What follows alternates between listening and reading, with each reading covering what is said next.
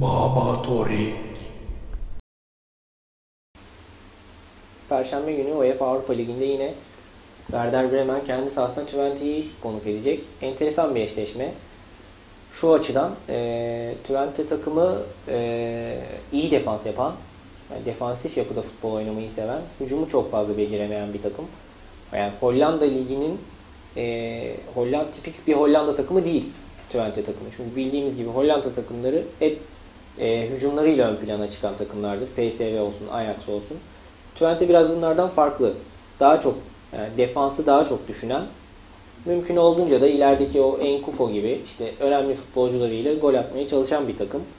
Bunda da çok başarılı oluyorlar açıkçası. Son hafta yine PSV'nin puan kaybıyla e, Twente kazanarak aradaki puan farkını 1'e indirdi ve şu anda Hollanda Ligi'nde ikinci sırada bir puan gerisinde PSV'nin şampiyonluk yarışına devam ediyor. Steve McLaren takımını çok iyi yönetiyor açıkçası. Eldeki malzemeyi çok iyi kullanıyor. Werder Bremen hafta sonunda son dakikalarda bulduğu golle e, lider Leverkusen'den puan çalmayı başardı. 2-2'lik maçın sonrasında bir puanın sahibi oldu.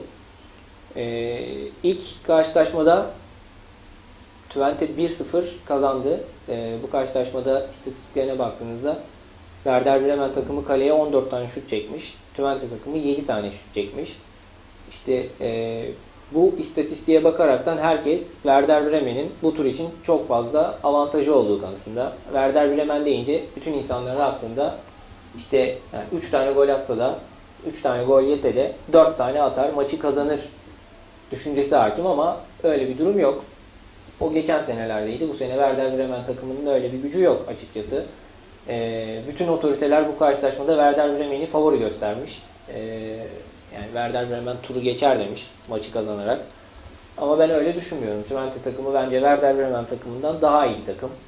Bunu da ilk maçta kanıtladılar. Yani Werder Bremen belki pozisyon bulmuş olabilir. Birkaç pozisyon bulmuş olabilir tabii ama bu e, 1-0'dan sonra skoru koruma düşüncesiyle Twente'nin de bir taktiğiydi. Çünkü dediğim gibi çok fazla hücum oynamayı seven bir tek, e, teknik direktörü de yok.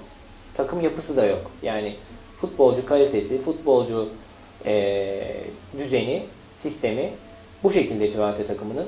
Zor gol yiyen bir takım Twente takımı. Ben Werder Bremen takımında öyle yani 3-4 tane gol atıp Twente'yi geçeceği kanısında değilim. Hatta tur için ben Twente'nin daha şanslı olduğunu düşünüyorum. Herkes e, Bremen'i favori göstermiş ama yani Mesut Özil ile zaten ilk yarıda belirli bir performans gösterdi Werder Bremen takımı ve Şampiyonlar Ligi yarı, Şampiyonlar Ligi'nden ve Şampiyonlar Ligi yarışından biraz uzak bir durumdalar ki Mesut Özil de son haftalarda oldukça formsuz.